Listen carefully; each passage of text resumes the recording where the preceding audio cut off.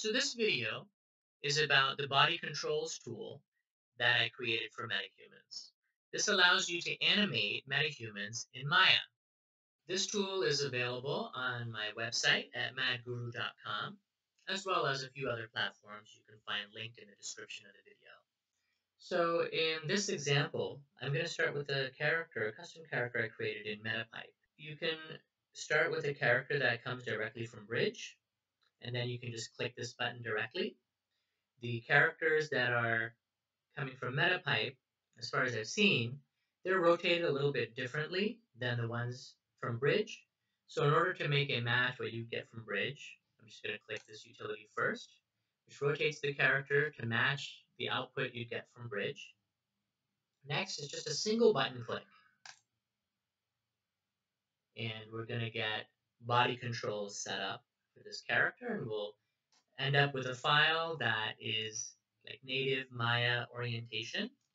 So for the head and neck, we have some basic FK controls. Same for the spine.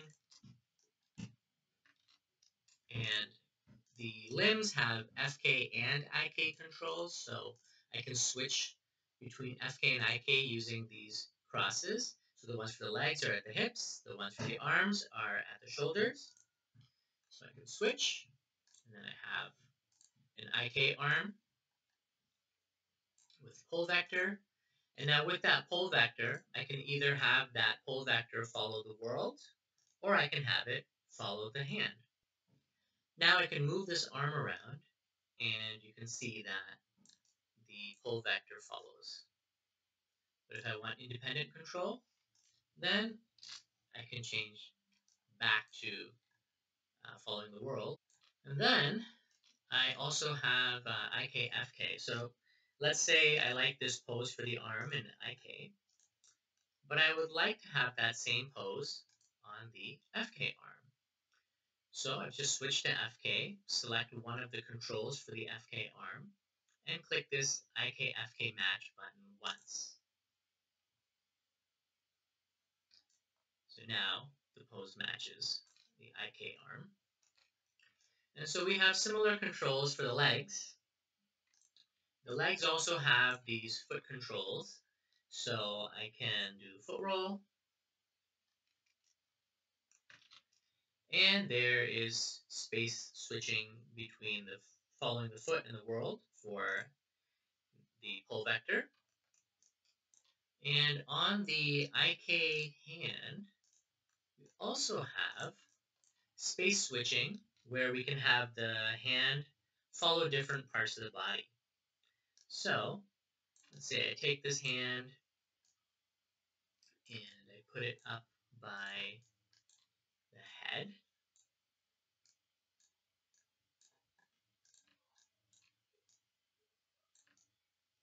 Okay, and then I can adjust pole vector. And I can change the follow option here to follow the head so that when I rotate the head, the hand will follow the head. In addition to that, we have other options. We can have that same hand follow the chest, follow the body, or go back to just following the world. And so when we're following the world, then the hand is not going to rotate with the head anymore. And so similar to the way that I matched the IKFK previously, I can also match the IK back to the FK. So I just select one of the controls for the IK and click on IKFK match, and it went back to the default pose, which is how the FK arm is posed currently. Another thing you can do with the IKFK match which I find useful when I'm working with motion capture data or like a whole um, shot, is if I double click, it'll actually match on every single frame. And so this is a good way if, let's say, you have motion capture data and it's all FK, arm, and leg movement, but you also want to key your IK to match so that you can do further editing, then you can just double click it'll cycle through and, and key all of them to match. So now I'm going to show you some of the other utilities that come with this tool. So some of it's just basic posing stuff. So I can go back into like FK here and with one part, any part selected so that I can get the namespace if there's a namespace on the character, I can click once to zero out the character pose and click twice to get a sort of cloth T-pose. So this is something that I would use in Marvelous Designer and um, create clothing around the character. I also have another button to put the character into a human IK pose. And in addition to that, so let's zero the character back out. And if we want to skin clothing, then it's really important to select the right joints to skin to. So let me display these joints so that we can see this better. So to make that easier, I have this tool right here. And so you can see there's a little shirt and a shoe. So if you single click, you'll get the joints for skinning to clothing. And if you double click, you'll get the joints selected for skinning to shoes. And so you can use this tool and then control select the geometry for the clothing and then create your skin cluster that way. This button here simply deletes the rig and gets you kind of back to what your default character was before creating the body control rig. And here's something new that I recently added is the option to save MetaHuman poses. So currently this works with hands and faces. So let's give it a try. So let's say I want to take these controls. Now I can individually rotate each finger joint or I can use this finger control to do like curling, spreading, and quickly create poses, which I can then further refine by actually selecting a control and rotating it further. But let's say, for example, that I want to save this hand pose. And I want to save that as, I'll give it a name. So we'll call it fist. I already have a pose called fist. And it's just asking me if I want to overwrite it. I'll go ahead and overwrite it. But you can save a library of poses this way. Similarly, you can also save face poses. So all of these facial controls can be manipulated. So let's say, you know, I want to save this as a sneer. So I pose the character and I have the, uh, at least one control selected so that I can get the namespace, if there is one. And then I'll click on Save, Face, and I'll call this Sneer. So the second tool here is for loading those hand and face poses onto your character. So once again, you're going to select a part of the character so that we know which character to apply this to. And all of these poses are saved in a JSON file that is saved in your scripts directory. So right now we have a fist and so let's say I wanted to make this hand into a neutral pose. I can click that. I can click fist again to make it into a fist. So by default, we are applying this to the left hand. But what if I wanted to apply it to the right hand? So I just click on mirror. Then I could make a fist out of the right hand. I could set it back to neutral.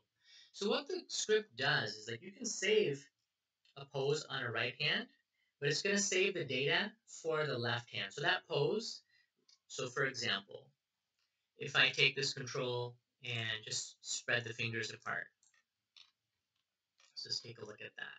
Say we have this finger spread pose, and we'll save it as a hand pose. We'll just call it spread. So now we have spread pose. Now, if I load, I can see that now there's a hand spread pose. And so if I click on hand spread, it's actually applying it to the left hand.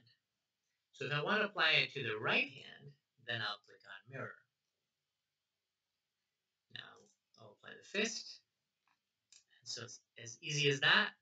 Now for the face, I took a whole bunch of facial poses that are available for MetaHumans in Unreal Engine, and I exported them using my um, my face animation export tool, which is a separate tool.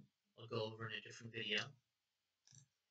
But with that, I can very easily and quickly change the facial expressions on character. And the nice thing is I can, you know, add an animation layer and make these changes and key them on that layer. So if I have a performance, maybe I have some motion capture data that I want to push a bit further with some of these facial expressions. And so I can do that by adding the, these facial expressions on top as a, another layer. And then I can mix it however much I want.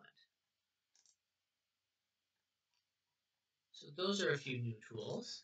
Now another thing that happens often is, let's say you have a character that has a strange scale or strange proportions.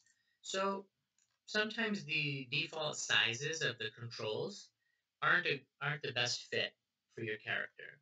So I added this simple little tool that allows you to, after the fact, after the rig has been built, change the size of these controls. So let's say this control, I want it to be half the size. So there's an example here. It says, you know, put in 0.5 for 50% of the size or put in 2 for 200% of the size. So say I want it to be half, right? So I'm going to put 0.5, click OK, and there we go. Now the shoulder control is half the size that it was. Click it again and make it double the size, go back to what it was. And I can do that for any of these controls that are NURBS curves. I can make it one third the size by typing in 0.3 and so on. So that's a brief overview of the body controls and IKFK match and some of the metahuman utilities that come with it. Let me know if you have any questions. Thanks.